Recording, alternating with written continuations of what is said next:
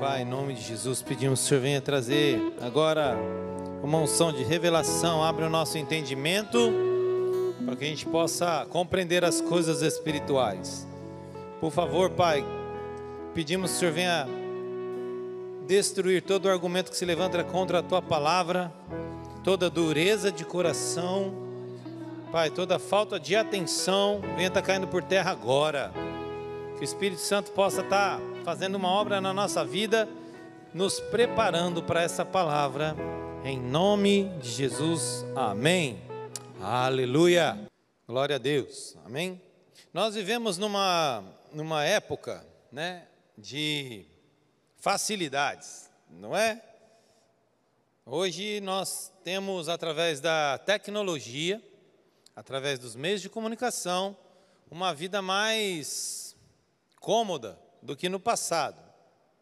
Creio que é, isso afeta todos nós, né? Desde as coisas mais básicas, se nós formos buscar bem antigamente, antes o fogão era lenha, tinha que se esquentar água para tomar um banho, não era assim? Né? Não sei se alguém aí é dessa época, morou na roça, né? Ou é mais antigo e viveu isso daí, né? Hoje não.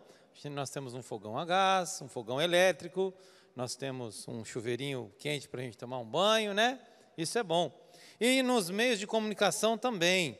Nós temos, antes a gente enviava uma carta, escrevia uma carta e mandava para que a pessoa então chegasse lá depois de alguns dias, a pessoa lesse e escrevesse e respondesse, então, mais alguns dias até que aquela. Hoje não, é instantâneo. Você envia uma mensagem, a pessoa já recebe na hora.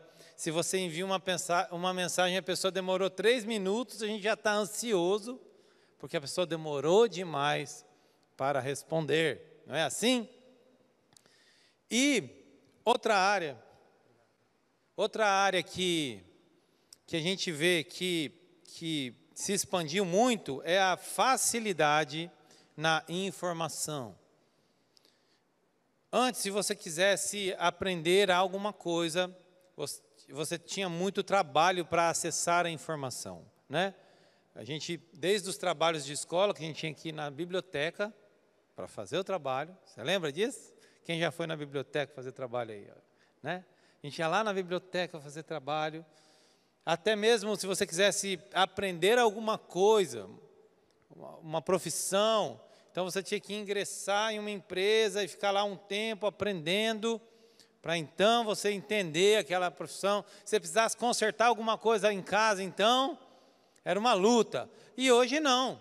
Hoje a gente entra na internet, tem de tudo, meu irmão. Você precisar consertar como que eu coloco uma capa nessa Bíblia. Vai ter na internet um, um vídeo explicando. Como que eu faço um púlpito desse aqui? Vai ter na internet. Como é que eu cuido dessa flor? Né? Como que eu construo uma casa? Como é que eu faço um foguete? Vai ter lá na, na internet um tutorial te ensinando. Mas mesmo tendo tanto acesso a tanta coisa, o ser humano tem andado preguiçoso. Né? A gente, é, até esses dias eu vi, a gente tem acesso à maior biblioteca do mundo, mas a gente não acessa. A gente prefere ficar no comodismo. Por que, que eu estou falando todas essas coisas? Porque isso também se reflete na nossa vida espiritual com Deus. Nós temos cursos na internet teológicos, nós temos Bíblias em várias versões no, na, no livro mesmo, né? E no, no aplicativo, só que nós não acessamos isso. E eu gostaria de falar a respeito aqui nessa manhã de as revelações de Deus. Você vive uma vida natural, você trabalha, você come, você tem a sua família, você tem o seu lazer, amém. Mas você não é só natural. Nós não somos só naturais, nós somos espirituais. Amém? Você tem que ter essa visão. Deus te trouxe aqui para te lembrar disso. Você é uma pessoa espiritual. E as coisas espirituais precisam ser discernidas. As coisas espirituais precisam ser entendidas. Para você viver a sua vida no natural, antes você precisa ter revelação de Deus. Para você decidir a sua vida, para você definir os rumos que você vai andar, para você estabelecer propósitos na sua vida, você precisa de revelação de Deus. O povo de Israel, quando andava pelo deserto, eles se moviam conforme a nuvem. Você já ouviu isso? Como que eles se moviam conforme a nuvem? Eles estavam andando no natural, era deserto, era areia, pisando em areia. Andando norte, sul, leste, oeste, natural total. Amém? Mas o que movia eles no natural? A nuvem, que era uma manifestação espiritual da glória de Deus. Então eles iam para o caminho certo. Eles não erraram o caminho nenhuma vez, porque eles estavam seguindo algo espiritual, o direcionamento espiritual de Deus. Amém? E talvez você esteja andando aí, colhendo dificuldades, talvez você esteja andando, remando, parece que está remando contra a maré, porque você está andando no natural, como todo mundo anda no natural mas sem um direcionamento espiritual da parte de Deus, sem uma revelação.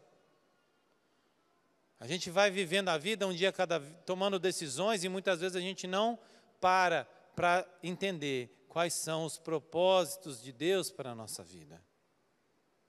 E é sobre isso que nós vamos falar hoje. Amém?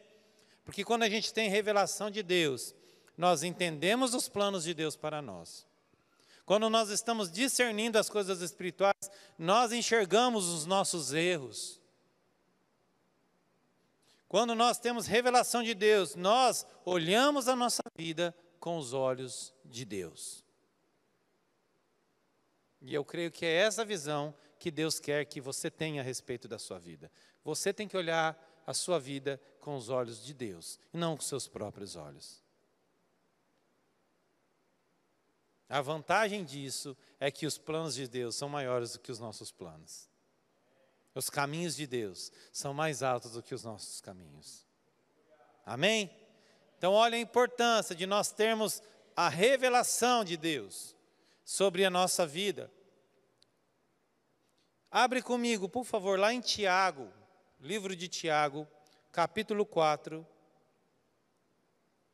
versículo 6.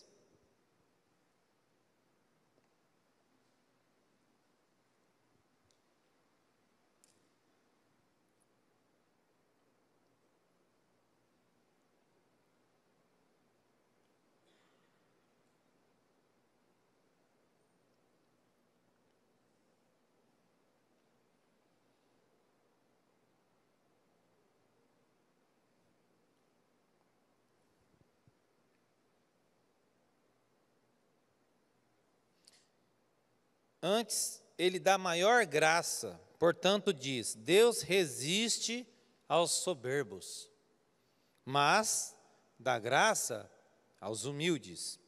Sujeitai-vos, pois, a Deus, resisti ao diabo, e ele fugirá de vós. Achegai-vos a Deus, e ele se chegará a vós. Limpai as mãos, pecadores, e vós, de duplo ânimo, purificai os corações, senti as vossas misérias, lamentai, chorai, convertam-se o vosso riso em pranto e o vosso gozo em tristeza.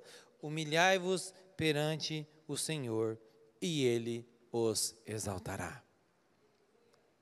E esse texto, então, vai nos falar a respeito de qual é o processo que nós precisamos para que Deus se achegue a nós.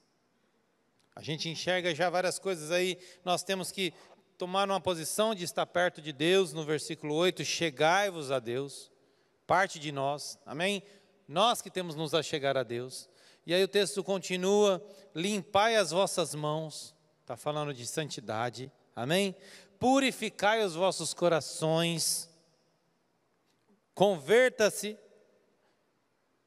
E aqui está falando a respeito de qual é um homem que acessa as coisas de Deus? Qual é um homem que experimenta a presença de Deus em sua vida?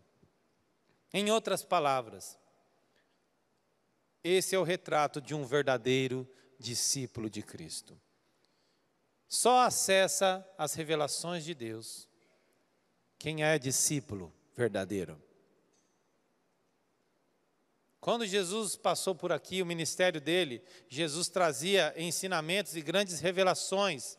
Até a palavra fala que as pessoas olhavam para ele e viam que o ensino dele não era como o ensino dos religiosos, não era como o ensino dos fariseus, né, como o ensino dos mestres da lei.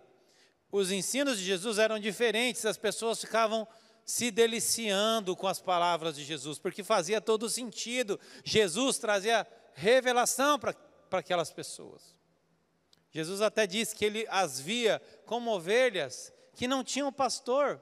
Jesus se compadecia do povo. E Jesus olha para nós da mesma forma, ele quer te ensinar, ele quer mostrar o caminho que você deve seguir, ele quer me mostrar os sonhos dele. Mas muitas vezes, meu irmão, as pessoas estavam diante de Jesus. E Jesus ensinava e as pessoas não entendiam. Jesus explicava e as pessoas não compreendiam. Vamos ver isso lá em Mateus. Abre comigo, em Mateus capítulo 13. E aí nós vamos ficar aí nesse texto. Deixa marcadinho aí, que nós vamos ficar em Mateus capítulo 13.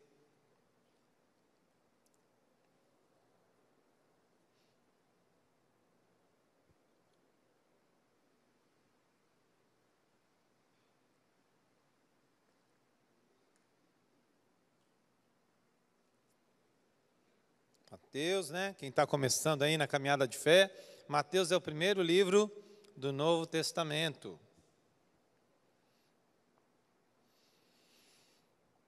Naquele mesmo dia, Jesus saiu de casa e assentou-se à beira do mar.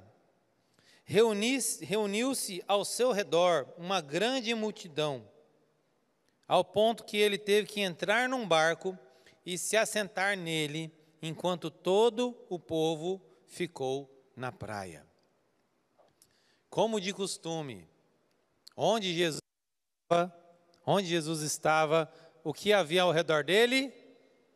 Uma multidão. Guarda essa palavra, multidão.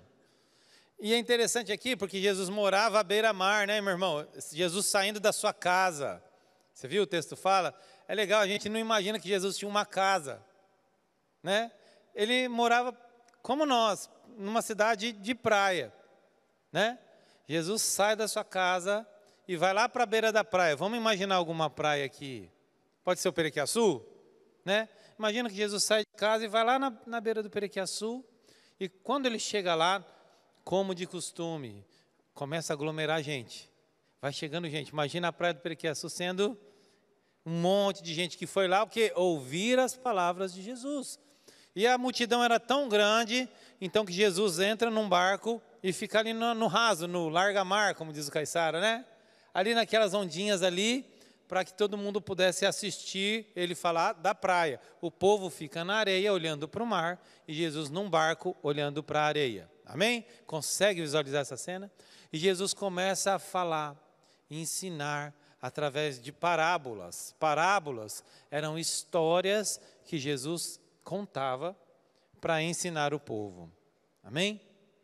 O povo, então, Jesus contou várias parábolas: a parábola dos, dos talentos, a parábola do semeador, a parábola do joio e do trigo, a parábola do, das bodas, né? a parábola das dez virgens. E você vai ler os evangelhos, você vai ele sempre falando através de parábolas, histórias. Jesus contava uma história para ensinar alguma coisa. Amém? E aquele povo ouvia. Aquele povo ouvindo. Né? A multidão estava ali. E aquela multidão era composta de várias pessoas. Homens, mulheres, crianças, né? pessoas, pessoas estudadas, pessoas sem conhecimento, sem estudo. Era um grupo né, distinto, muitas pessoas de várias classes da, da sociedade da época. E aí nós vamos lá para o versículo 10 agora. Vamos avançar um pouquinho. Os discípulos aproximaram-se dele e perguntaram: Por que falas ao povo por parábolas? Ele respondeu: A vós foi dado o conhecimento dos mistérios do reino de Deus, mas a eles não. E aqui é preciso que a gente entenda, meu irmão, é muito importante que a gente entenda, porque se a gente faz uma leitura rápida desse versículo, pode parecer que Jesus escolheu essa forma de ensino para que as pessoas não aprendessem. Porque olha só, Jesus, por que, que o Senhor ensina parábolas? Não, a vocês foi dado conhecer o reino dos céus, mas a eles não. Por isso que eu falo por parábolas. Se a gente lê dessa maneira, pode ser que a gente tenha esse entendimento. Mas eu gostaria de te convidar a ter um entendimento melhor desse texto. Amém? Pensa comigo. Os discípulos receberam a mesma parábola que a multidão recebeu. Então vamos fazer uma distinção aqui: multidão e discípulo. Amém? Quando Jesus falou sobre a, a parábola do semeador que saiu a semear, e então caiu uma, uma semente à beira do caminho, caiu uma semente num, num solo pedregoso. Lembra disso, dessa parábola? Quando Jesus deu esse ensino, ele falou para todo mundo. A multidão e os discípulos estavam ouvindo o mesmo ensinamento. Está me acompanhando? E então a multidão está ali ouvindo, e os discípulos também estão ali ouvindo. E, e, tentando discernir aquela palavra, mas do que será que Jesus está falando, né? Qual é a verdade que está embutida? Qual é, do que, que ele fala aí? E Jesus aqui, então, ele, nesse texto, quando ele fala, a vocês foi dado a conhecer mas a multidão não. Jesus não está falando que foi uma estratégia que ele fez, é uma conclusão que ele está fazendo. Jesus, por que o senhor fala por parábolas? Sabe, a vocês foi dado dar o conhecimento, mas a eles não. Eu creio que Jesus está falando nesse sentido, ele está só concluindo. Ele olhava para a multidão e olhava para os discípulos e via que os discípulos estavam conseguindo acessar a revelação dos ensinos, mas a multidão não. A vós foi dado conhecimento, mas a eles não. Jesus está concluindo. Eu falo por parábola, a mesma parábola que vocês estão ouvindo, discípulos, a multidão também está ouvindo, mas vocês estão entendendo e a multidão não está entendendo.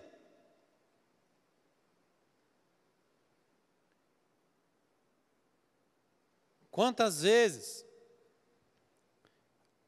aquela multidão foi exposta à mesma às mesmas palavras poderosas de Jesus que os discípulos, mas não houve transformação na, na multidão. Então, a primeira lição que a gente aprende, meu irmão, quem acessa a revelação de Jesus são discípulos, não é multidão. Quem é discípulo aprende. O verdadeiro discípulo recebe a revelação de Deus. Vamos avançar um pouquinho. Fica comigo, versículo 12, ó. A quem a quem tem será dado, e este terá em grande quantidade. Mas quem não tem, até o que tem lhe será tirado. Jesus está falando do mesmo assunto, né? Porque se a gente lê esse livro, esse, também esse versículo isolado, a gente pode achar que Jesus está falando de bens materiais, por exemplo. Não, quem tem, quem tem bem material vai ser mais dado mais, mas quem não tem, até o que tem vai ser tirado. Não, Jesus não está falando disso. Lembra qual foi a pergunta de Jesus, dos discípulos, a respeito do ensino de Jesus? A respeito de revelação. Esse texto aqui está falando a respeito do quê? Está falando sobre acessar os ensinos de Deus. Amém? Então, a quem tem, será dado. A quem tem o quê? Não é? A quem tem o quê? será dado o quê? A quem tem interesse, será dado revelação. Entende? A quem tem fome, será dado de comer. A quem tem desejo de aprender, será dado conhecimento. A quem tem interesse, será dado revelação, e este terá em grande quantidade. Mas quem não tem interesse, até o pouquinho de revelação que tem, ele perde. Por quê? Porque o inimigo vem e rouba a semente do coração. Entende? Está me acompanhando? Quem tem interesse, quem tem desejo de buscar os conhecimentos de Deus é que aprende. E essa é a, isso que distinguia os discípulos da multidão. Jesus ensinava a mesma parábola, a multidão ia embora. Mas os discípulos iam até Jesus e falam: Jesus, explica-nos a parábola do joio. Jesus, Mostra para nós. Os discípulos estavam ao pé de Jesus, tentando entender, tentando discernir. Isso, por que, que, por que, que uma pessoa saía da multidão e se tornava discípulo? Porque ela passava a andar mais perto de Jesus. O que distingue multidão de discípulo é a intimidade que nós temos com Jesus. Ninguém recebeu um. Jesus não saiu distribuindo um crachazinho, uma senha. Aqui, ó, eu tenho tenho 20 senhas para discípulo. Quem quer, toma, toma, toma. Não. A pessoa se tornava discípulo de Jesus automaticamente quando ele passava a andar mais perto de Cristo. Ele começava a estar no círculo de ensino de Jesus, ele ia mais vezes, ele estava mais perto, então né, agora ele já não é mais chamado de multidão, já, Jesus já sabe o nome dele. E esse corpo de discípulos, meu irmão, tinha os apóstolos, mas tinham mais discípulos, sabia? Não eram só os doze. Os discípulos estavam, aquele grupo que estava disposto a andar com Jesus.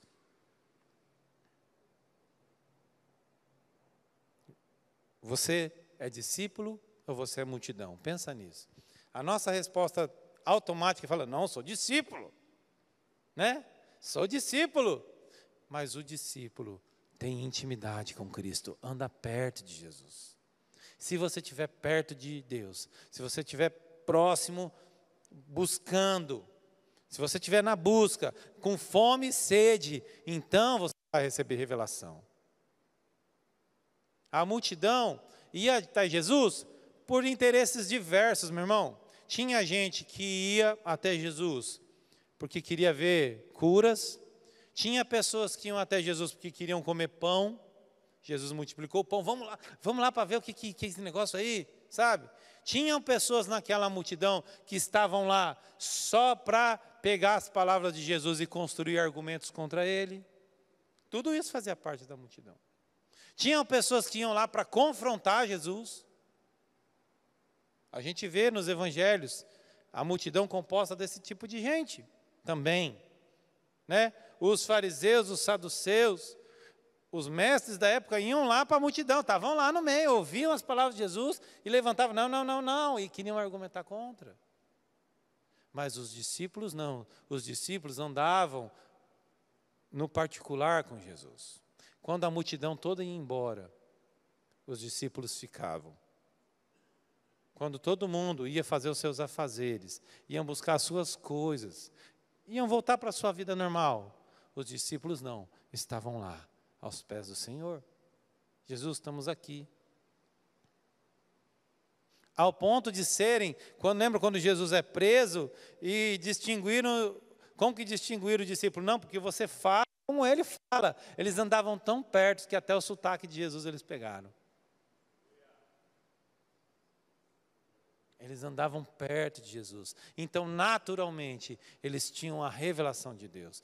Quem quer revelação aí para a sua vida? Nós temos que andar pertinho de Jesus, meu irmão.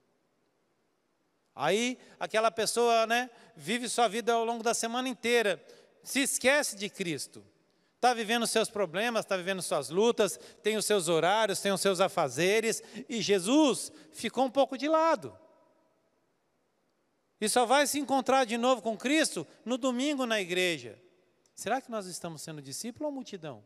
Que a gente vai para ver o que, que acontece, lindo, maravilhoso, e depois a gente volta para viver a nossa vida. Desse jeito, nós não vamos ter revelação de Jesus, não, meu irmão. Como é que a gente quer? Ah, mas a gente vê o irmão dando testemunho que teve um sonho, nós vemos, ah, o irmão dando testemunho que ele deu a palavra e Deus falou com ele. Por que, que isso não acontece comigo? Você tem andado perto de Jesus? Você tem buscado Ele ao longo da semana? Você tem convidado Ele para tomar café com você? Ele mora na sua casa? Ele, ele te conhece pelo nome? Enfim, vocês têm intimidade? Ou você só se encontra com Ele esporadicamente? Se nós nos encontramos com Jesus só esporadicamente, nós não estamos sendo discípulos, nós estamos sendo como aquele povo da multidão.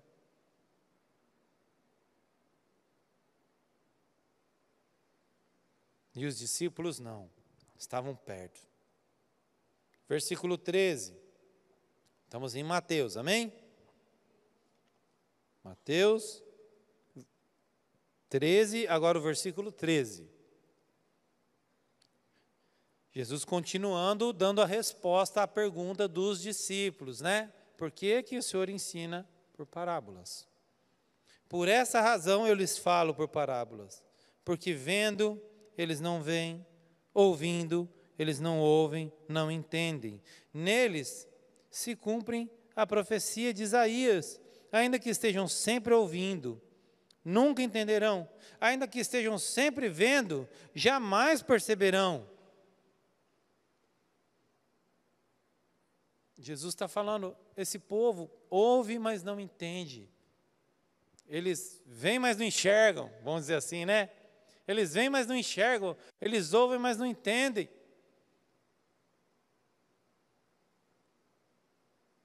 E de novo, Jesus não estava dificultando o acesso a revelação. Jesus está concluindo, eu falo por parábola para esse povo, do mesmo jeito que eu falo para vocês, mas a multidão ouve e não entende, vê, mas não enxerga. Por que, que acontecia isso com a multidão? A palavra continua, olha só, por que, que eles não tinham discernimento e revelação? Versículo 15. Pois o coração deste povo se tornou insensível. De má vontade ouviram com seus ouvidos e fecharam seus olhos. Se assim não fosse, poderiam ver com os olhos, poderiam ouvir com os ouvidos, entender com o coração, converter-se e serem curados. E aqui está Deus, então, Jesus está mostrando por que, que aquele povo, aquela multidão que ouvia a mesma parábola, não acessava o discernimento e a revelação de Deus. Por quê? Vai apontar aqui alguns erros que estão registrados aqui para você e eu não cometermos. Para você aprender. Olha a primeira coisa que aquela multidão fazia quando ouvia o ensinamento de Jesus.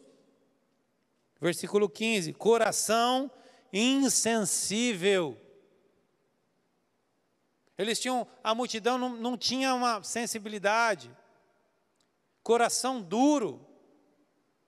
A multidão não acessava os ensinos de Jesus e as revelações, porque era povo de dura serviço, vamos dizer, né? Era coração duro, meu irmão. Cuidado com o seu coração. Não deixe seu coração endurecer. Aquele povo lá ouvia a parábola, bênção, podia aprender, podia mudar a vida dele, como uma palavra de Deus pode mudar a nossa vida. Mas se nós estivermos com o nosso coração duro, a, gente, a palavra não cai no nosso coração. Quer um exemplo? Às vezes você vem para a igreja, você vem para a igreja bravo, não é? Bravo com alguma situação, bravo com alguém, bravo com com alguém lá na sua casa, ou com alguém da igreja, bravo com o pastor. Amém? A palavra cai no seu coração? Não cai, meu irmão. A gente fica ali, resistente à voz de Deus. E aí a gente fala: não, mas eu vou ouvir a palavra mesmo assim. Mas aquela palavra só entra no ouvido e sai pelo outro. Porque o coração está coração de pedra. Às vezes a gente está bravo com alguma situação, a gente está cheio, e quando a gente fica com o coração duro, meu irmão, a gente se enche das nossas razões e dos nossos argumentos, não é? Não, mas ele fez isso, isso, isso, isso, e a gente vem bravo. Coração duro, coração de pedra. Vigie o seu coração, meu irmão. Mas a gente pode quebrar esse coração. A palavra fala que a gente pode quebrantar o nosso coração. A gente, a gente toma posse de uma teimosia santa e fala: Não, coração, você vai ter que se, se dobrar. Como, como o Davi falava: Por que você está batido, minha alma? Davi lutando com ele mesmo. Não é? Por que você está batido, minha alma? Espere em Deus.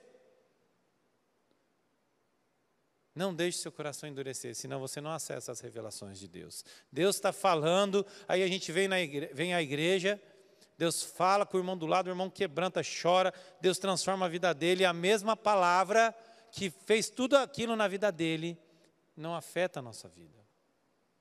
A mesma palavra que transformou a vida daqueles discípulos, se tornaram apóstolos e deram a vida por Jesus, não transformou muitos daquela multidão. Porque Jesus está falando, tinha um coração duro. Será que seu coração não anda duro? Pelas lutas, por conta de pessoas, situações. Talvez você esteja andando com o coração duro. Meu irmão, você não vai ter revelação de Deus se o seu coração está duro. Coração de pedra. O Espírito Santo está aqui nessa manhã e ele pode converter seu coração de pedra em coração de carne de novo.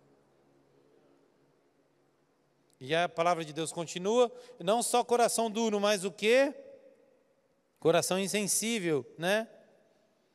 De má vontade ouviram com seus ouvidos. Meu irmão, ouvi com má vontade as palavras do próprio Jesus.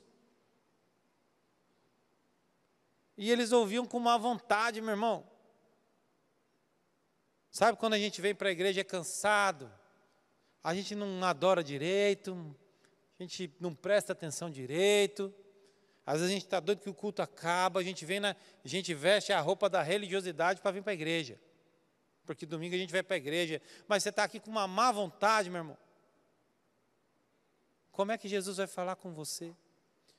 Aí ao longo da semana a gente lê a Bíblia, porque a gente sabe que tem que ler a Bíblia, mas com aquele sono, aquela leseira, aquela má vontade de ler.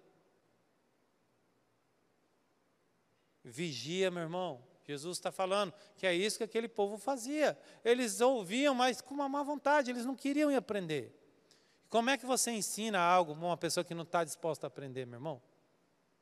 Não tem como. Como é que o Espírito Santo vai conseguir revelar algo para mim? se eu estou com aquela má vontade de ouvir a voz dele. Preocupado com tantas coisas aí e não ouço, né? E eles não só ouviam com má vontade, mas também fecharam os seus olhos. Meu irmão, fecharam os olhos. Quantas vezes nós fazemos vista grossa para os nossos erros? Quantas vezes a gente fecha os olhos para a necessidade do próximo? Deus coloca situações, Deus coloca situações na nossa vida e a gente prefere de, de coração ignorá-las. Sabe, a gente está passando por um lugar, Deus chama a sua atenção para uma vida e você fecha os olhos e vai embora. Jesus começa a revelar algo e a gente fala, aí ele começa a revelar algo e começa a tratar e começa a tocar na nossa ferida, aí a gente bloqueia. Não, não, depois eu lido com isso daí. Depois Deus fala comigo nisso daí.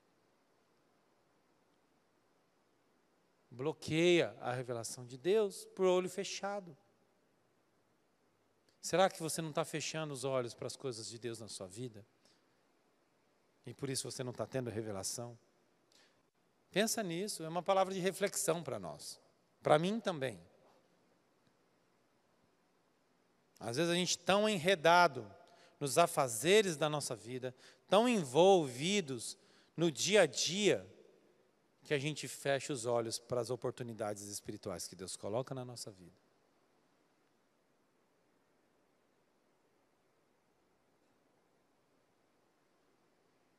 Falando do Rio Grande do Sul, também eu estava acompanhando alguns vídeos de testemunho de homens e mulheres de Deus que, movidos pelo Espírito Santo, saíram do seu, da sua zona de conforto, foram para lá ajudar.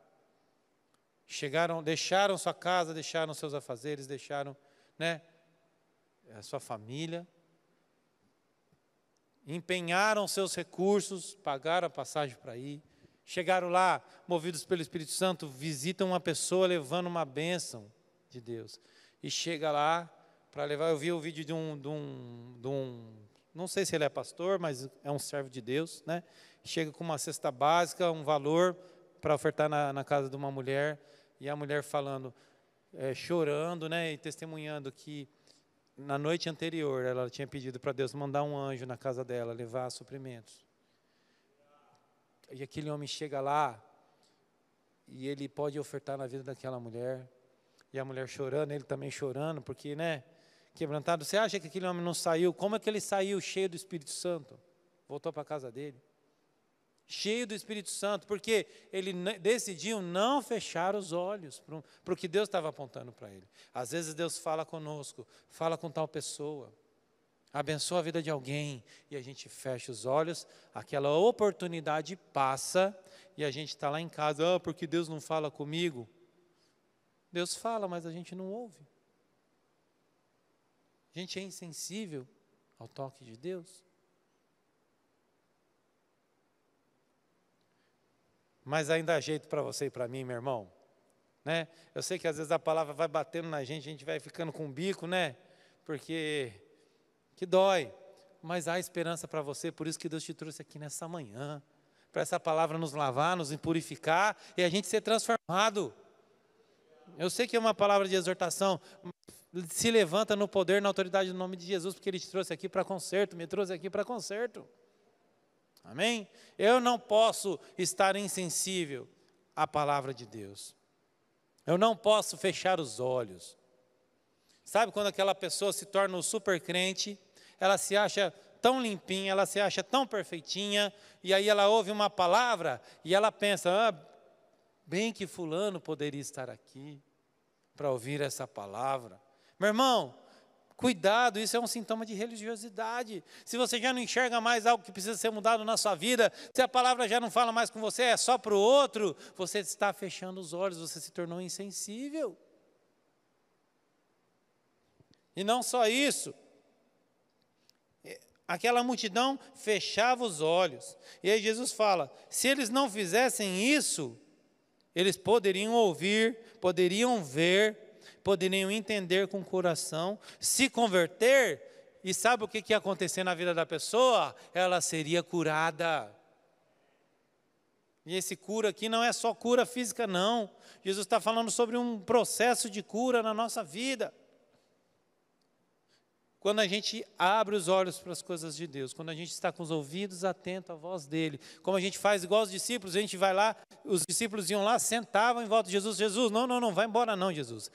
A gente precisa entender isso aqui, não entendeu nada. Me explica, Jesus. Eu não estou entendendo, Jesus, o que está acontecendo. Por que, que eu estou passando por essa luta? Jesus, por que isso está acontecendo na minha vida? Eu, a gente não fecha o olho e vai vivendo. A gente tem que chamar Jesus e falar, Jesus, vem aqui, me explica. Senta aqui. Um café comigo, Jesus. Mas fala aí, o que, que, que eu preciso saber, o que, que eu preciso entender, onde eu preciso andar, qual é o próximo passo que eu preciso dar? Eu preciso das suas revelações, Jesus. Os discípulos faziam isso, e à medida, então Jesus tinha a oportunidade de explicar mais profundamente. Jesus tinha a oportunidade de trazer uma palavra mais profunda. É na intimidade que nós acessamos as palavras mais profundas de Jesus.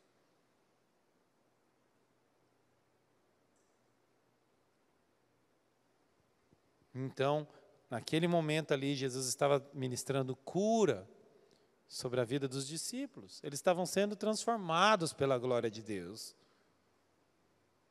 Todos nós precisamos de cura e transformação. Nós ainda não somos do jeito que, que, que Deus espera. Nós ainda não alcançamos a estatura de Jesus. Então nós precisamos de cura e de transformação. Como é que a gente vai conseguir isso? abrindo os olhos, ouvindo com os ouvidos, convertendo o nosso coração.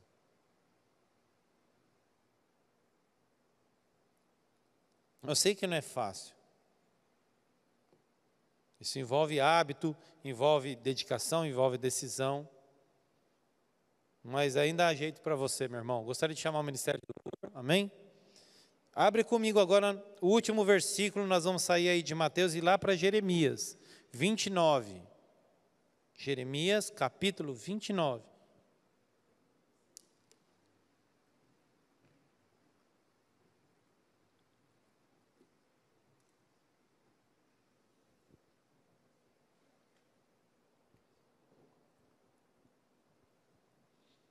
Jeremias 29, versículo 11.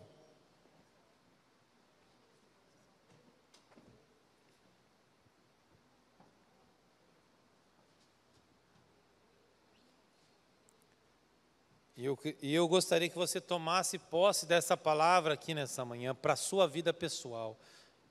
Eu sei que é uma palavra muito conhecida, mas seja um homem ou uma mulher espiritual agora, ativa o espiritual de Deus na sua vida e começa a tomar palavra dessa, eh, tomar posse dessa palavra para você nessa manhã.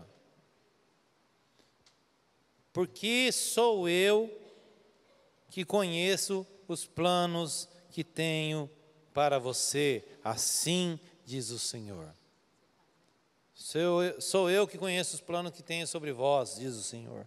Planos de fazê-los prosperar e não lhes causar dano. Plano de dar-lhes esperança e um futuro. Meu irmão, toma posse dessa palavra aqui nessa manhã. Aqui está falando para nós que eu sei muito bem o que eu planejei para a sua vida. Jesus está falando, as promessas que eu fiz para você, eu me lembro de todas elas. Eu sei que são promessas de te abençoar, planos de fazê-lo prosperar, de fazer que você venha a ser feliz. Neste momento, existem esses planos que já foram escritos por Deus para nós. Sou eu, igreja ágape, sou eu que conheço os planos que eu tenho a respeito de vocês planos de dar esperança, de dar futuro. O que, que nós precisamos fazer para acessar esses planos? Versículo 12. Então vocês clamarão a mim, virão e orarão a mim, e eu os ouvirei. Vocês me procurarão e me acharão quando me procurarem de todo coração. É isso que Deus está esperando aqui nessa manhã. Amém? O que Deus está esperando nessa manhã é uma mudança de atitude. Clama, clama a mim, vem a mim. Eu vou ouvi-los, mas nós temos que sair do nosso lugar e orar e buscar ao Senhor. Gostaria que você ficasse em pé, amém? Que nós vamos estar fazendo agora um movimento santo. Daqui a pouco nós vamos fazer um louvor. Pode ir fazendo aí um fundo musical. Mas eu gostaria de te estimular nessa manhã. Diante dessa palavra. Diante dessa palavra que Deus trouxe aqui nessa manhã. O que você precisa mudar na sua vida? Pensa bem. Então você fala, eu preciso ter mais busca, eu preciso buscar Deus de verdade, servir a Deus de verdade.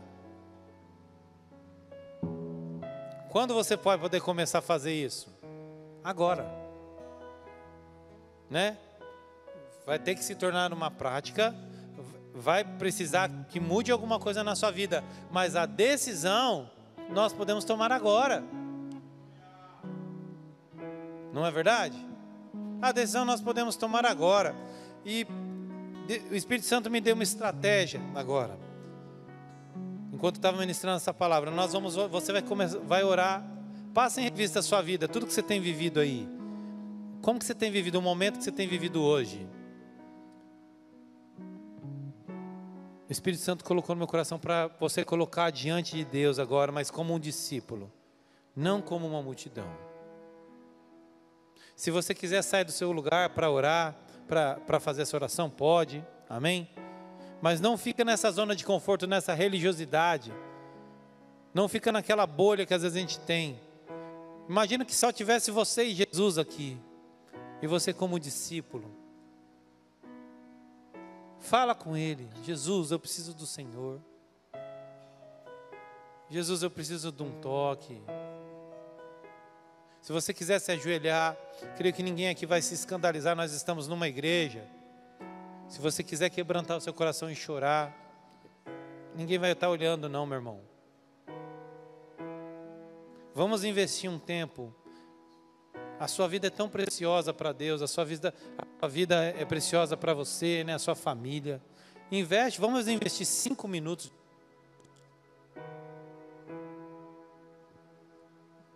Cinco minutos de oração. Enquanto o ministério vai tocando o instrumental aqui, para criar uma atmosfera espiritual, porque eles são levitas da casa do Senhor. Assim como foi, Davi foi chamado perante Saul para tanger a harpa. Enquanto eles tocam seus instrumentos, vai colocando sua vida diante de Deus. Vamos quebrantando o nosso coração, meu irmão. coração de pedra seja quebrado aqui nessa manhã.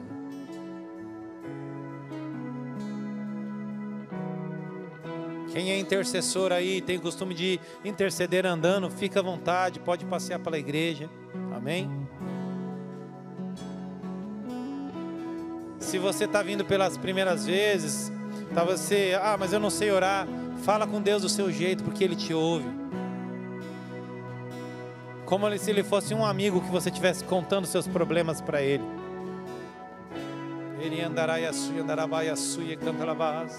Eu estou com os meus ouvidos atentos às orações nessa manhã. Assim diz o Senhor, Clama a mim. E responder-te-ei Então vocês clamarão a mim, virão, orarão a mim, e eu os ouvirei. Vocês me procurarão e me encontrarão quando procurardes de todo o coração. O Espírito Santo passeia aqui nesse lugar. Aleluia!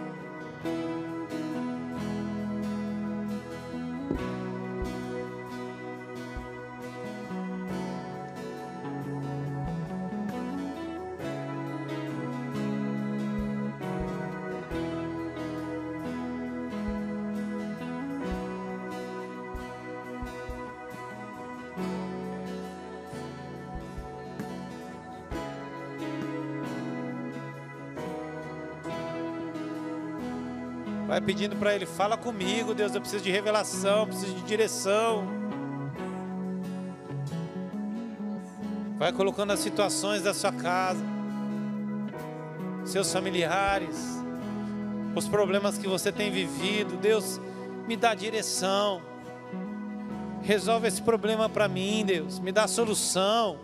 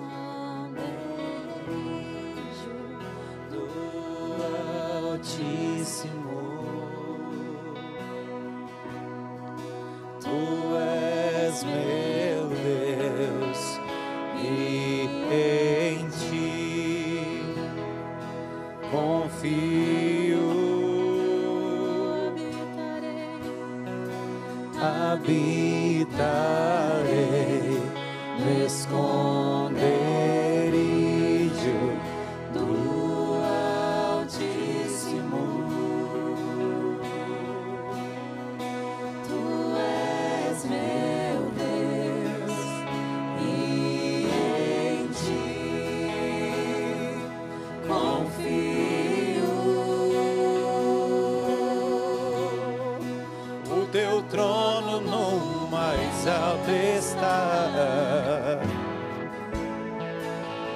Tu és rei eternamente. O teu trono no mais alto está.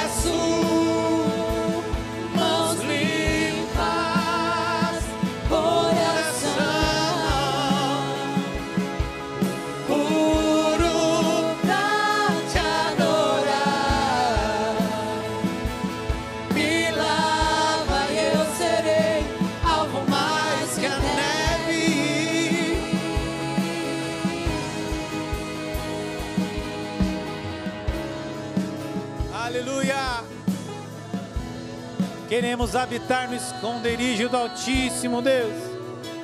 Aleluia! Aleluia!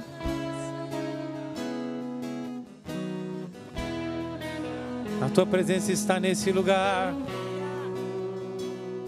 Começa a dar revelação, Espírito Santo, para cada um aqui. Habitarei na esconderijo. Recebe nessa manhã um espírito de sabedoria.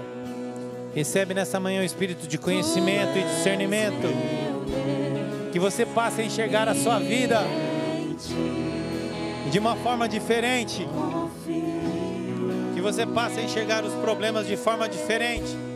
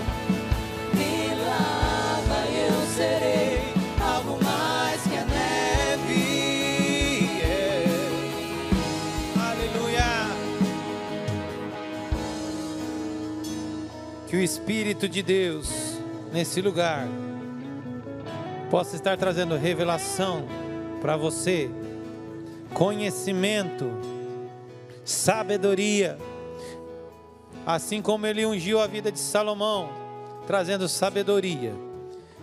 O mesmo Espírito de Deus que deu sabedoria para José, o mesmo Espírito que estava sobre Jesus está aqui nessa manhã. Que Ele venha estar trazendo essa, essa unção sobre a sua vida. Assim que Deus mova o seu coração de pedra e transforme em coração de carne.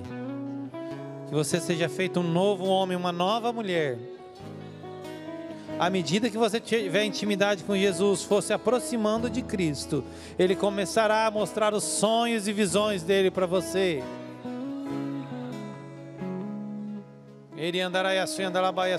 Muitos serão, muitos receberão palavras de Deus através de sonhos e visões. Se conecte ao sobrenatural de Deus. Tenha discernimento, porque Ele começará a falar com você através de sonhos, visões. Ele andará e andará que andará e a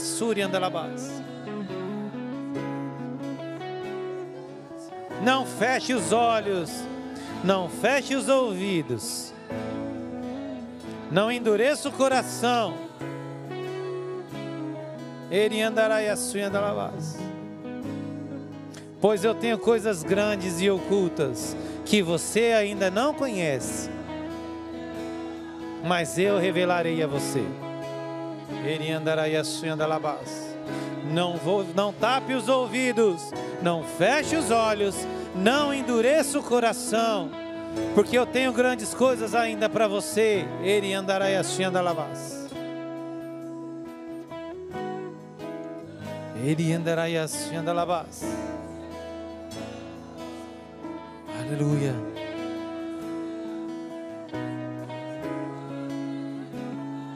Obrigado, Espírito Santo, pela tua presença nesse lugar, movendo os corações.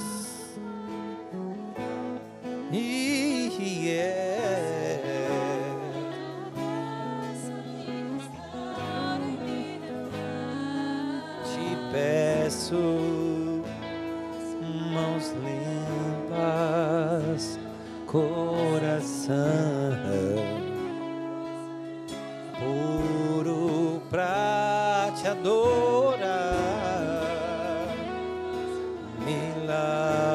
Eu serei algo mais que a neve. Te peço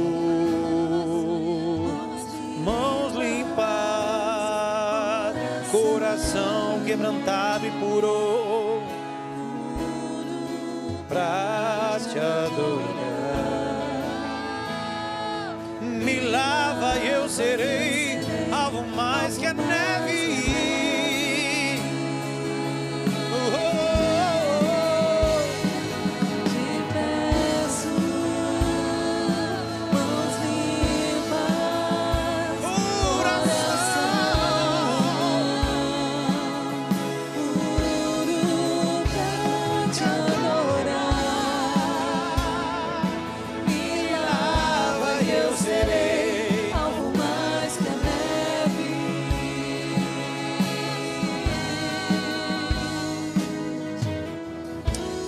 Senhor te abençoe e te guarde.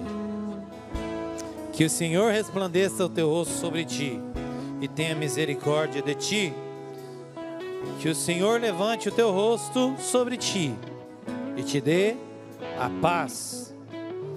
Que a graça do nosso Senhor Jesus Cristo, que o amor de Deus nosso Pai e a comunhão do Espírito Santo estejam sobre vós por todos os dias da sua vida.